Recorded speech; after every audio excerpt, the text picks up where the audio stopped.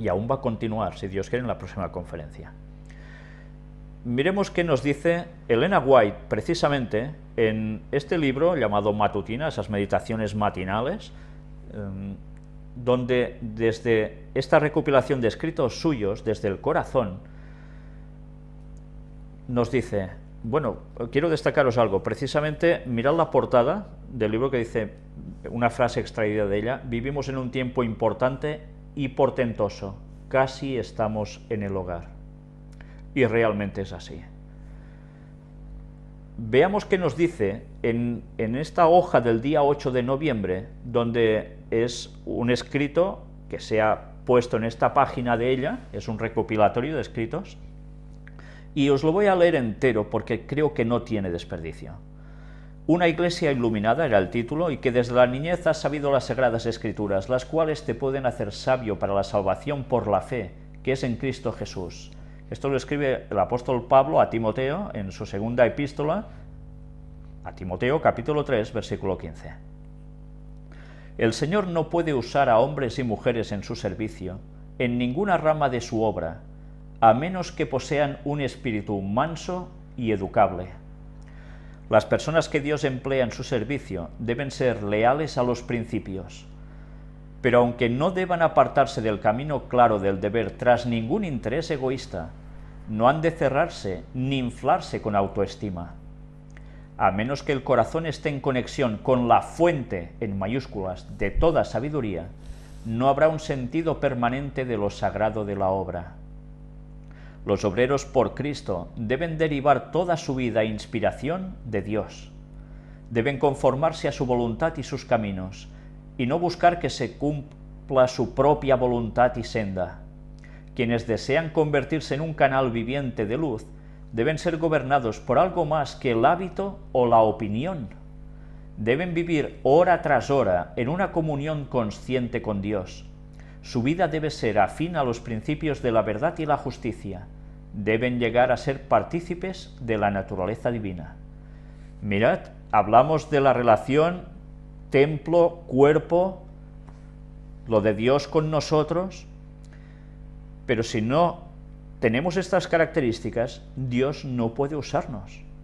Por eso hemos de ir a Él como esa fuente de toda sabiduría y poner toda nuestra vida a su disposición, para participar de su naturaleza divina, de esa correlación cielo-tierra, Dios-hombre. El siervo de Dios debe buscar poder intelectual constantemente, y cada adquisición de la mente debe dedicarse a glorificar a Dios, necesitamos expandir los conceptos de lo que Dios requiere de su pueblo. Mirad qué interesante. No podemos ser como cristianos gente limitada intelectualmente. Debemos buscar poder intelectual constantemente. Pero eso sí, dedicarlo todo a glorificar a Dios, que esos conocimientos sirvan para eso. Y además necesitamos expandir los conceptos que de lo que Dios requiere de su pueblo. No ir a menos, sino a más. Expandir conceptos. Es que... y se expande desde un centro. sí, sí, sí, claro. Pero quiere decir que un concepto, de las, un concepto de una cosa es una definición. Tú dices, esto es esto, esto, esto y esto, ¿no? Y tú te lo estudias, te lo aprendes así y te vas para casa. Entonces lo que, estamos, lo que Dios nos muestra es una visión totalmente fuera de límites y en algunos casos nueva de lo que, de lo que es la realidad. O sea que tienes que olvidarte de todo lo que has aprendido, ponerte en manos de Dios y Él te va como mostrando eso, expansión de conceptos. Que no, hay, que, no puedes parar de, de dar por conocido algo. Por eso las verdades establecidas lo están y las hemos de creer, porque están, y luego viene la expansión, la añadidura. La verdad es el centro. Claro. Y mirad, si está claro en el escrito de Elena White, que dice, no debemos contentarnos con nada menos que la iluminación divina desde la luz en mayúsculas central del universo. Más claro no podía ser. Este texto escrito por Elena White nos estaba diciendo que hay un centro del universo, donde emana esa luz que es la de Dios. Una vez más, recordamos ahora lo que nos presentaron esos dos científicos padre e hijo adventistas en ese vídeo que demostraban que el centro del universo está en el trono de Dios, en Orión, y lo cerca, relativamente cerca que estamos de allí, aunque estemos lejos. ¿Somos los que estamos más cerca? Sí. Pues bien, Elena Guay ya nos lo decía. Luego sigue hablando aquí. Cuando tengamos esta iluminación, veremos la necesidad de seguir hacia adelante y hacia arriba de elevar la norma, de cultivar la ambición más sublime, de alcanzar los logros más altos. Debemos extraer constantemente de la fuente en mayúsculas de toda sabiduría y vivir como a la vista del Señor. Una vez más, no para de hablarnos de esta verticalidad. Su talento le ha sido confiado por el Señor y usted, ya sabéis que es una carta que dirigía a alguien, y usted será responsable por su empleo y mejoramiento. Debemos manifestar la gloria de Dios. Esta es la elevada aspiración de nuestra existencia. Debemos estar en una condición tal que podamos apreciar la luz que Dios ha traído a la experiencia de otros. Esto es muy interesante, porque, como antes hemos visto, no podemos engreírnos para nada.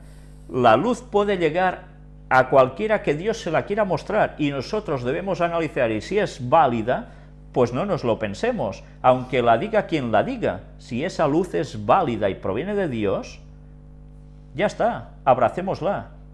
Precisamente lo que os estoy mostrando ahora, esta página, no la he encontrado yo, ni la ha encontrado Ángel, la ha encontrado nuestro compañero Samuel.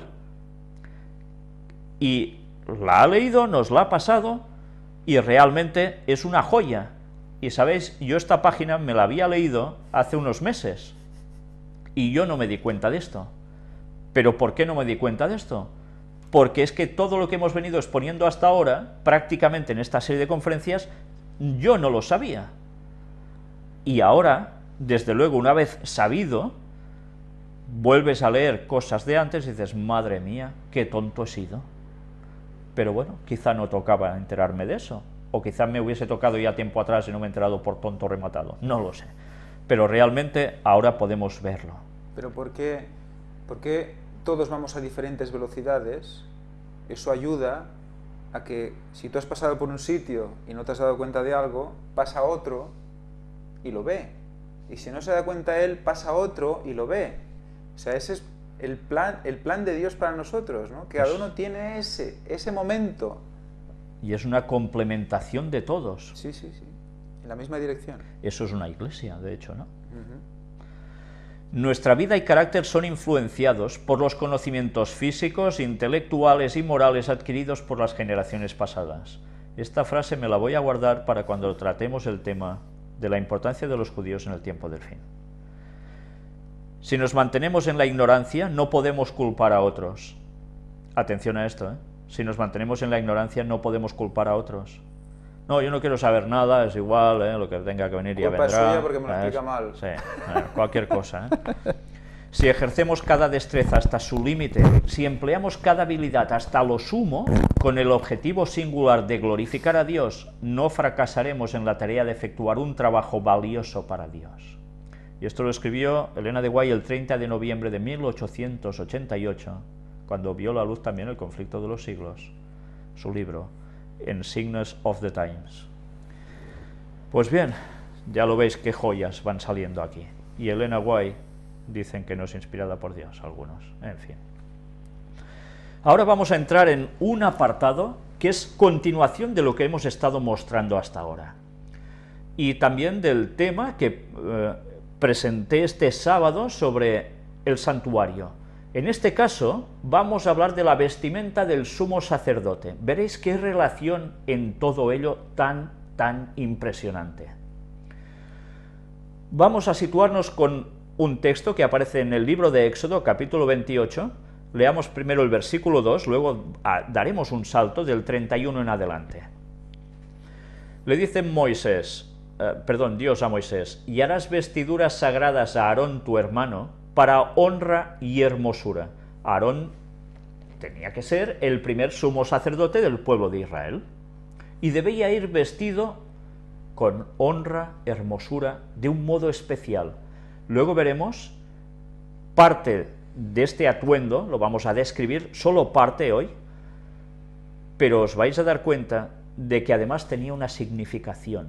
No iba majo porque sí, sino que iba majo para honrar a Dios, por hermosura sí, pero además con una significación y una lección para todo el pueblo de Israel y para nosotros aún ahora. Recordemos que el papel del sumo sacerdote era la equivalencia al papel que haría Jesús en la tierra, pero después en el cielo entrando en ese santuario celestial. Vamos a ver qué nos dice del 31 en adelante. Harás el manto del efod todo de azul, sobre los colores también hoy hablaremos algo. Y en medio de él, por arriba, habrá una abertura, la cual tendrá un borde alrededor de obra tejida, como el cuello de un coselete para que no se rompa. Y en sus orlas harás granadas de azul, púrpura y carmesí. Alrededor, y entre ellas campanillas de oro alrededor. Granadas de azul. Mm, las granadas son azules, son púrpuras, son carmesí. El azul es el color del cielo, por supuesto, esto es evidente. Púrpura y carmesí, ¿qué colores son? Ángel alguna vez nos ha hablado de esto, ¿verdad? Púrpura y carmesí, pues el lila y el rojo pintalabios. Y todo esto iba asociado, estos dos últimos colores, ¿a quién? a la sangre de Cristo y nos lo enlaza con el azul del cielo. Que también tiene una simbología interesante. No sé si... Sí, sí, dilo, dilo. No, em, tiene que ver también con el azul de la montaña del Sinaí eh, y parece ser que es un azul que significa ley, está asociado a la ley, a la ley de Dios. Y, y parece ser que las tablas tenían este tono. Pues de esto hablaremos también en una próxima conferencia y con un vídeo muy interesante al respecto. Ahora ha sido un anticipo, ¿verdad? Mirad que nos habla de estas granadas, ¿eh? de azul, púrpura y carmesí alrededor, o sea, en sus bordes, ¿eh? y entre ellas campanillas de oro alrededor. Una campanilla de oro y una granada otra campanilla de oro y otra granada, en toda la orla del manto alrededor. O sea que estaban dispuestos campanilla, granada, campanilla, granada, campanilla, granada, y así alrededor de todo su, su, bueno, su falda, por decirlo de algún modo, ¿no? la parte de abajo. Cuando anduviera, lógicamente se oirían esos ruiditos.